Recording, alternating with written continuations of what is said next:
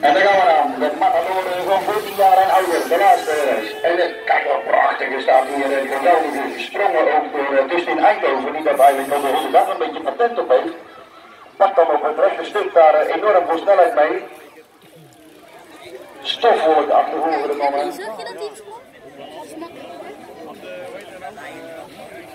En uh, is dan uh, Tom van Bokstel die dan nu voor eigen publiek een plaatsje te veroveren in de finale? Of krijgt hij daarvan nog uh, concurrentie van de man met nummer 99, Kevin van den Burg?